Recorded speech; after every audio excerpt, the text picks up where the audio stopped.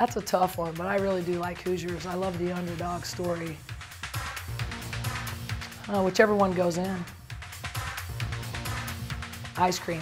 It's definitely my weakness. Uh, fishing. I'd have to say my brother Tom. Um, he taught me how to play, and I owe a lot to him. Honestly, I'd have to say as a coach, um, being with UVU through the process, and, and uh, this year is kind of the culmination of that, being the Western Athletic Conference. Uh, I, I, love defense. You know, our program is one that we believe that defense wins championships.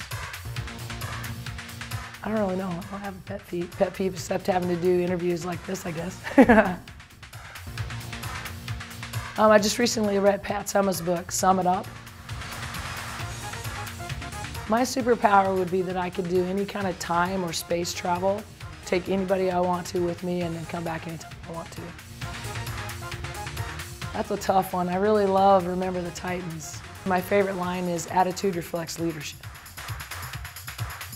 My players have some really good ones, but um, I'm, I'm probably from the movie Hitch, you know, where I got to keep it like right in the middle right here. Don't venture out too much with the pizza or anything, but so I keep it a little tight like this.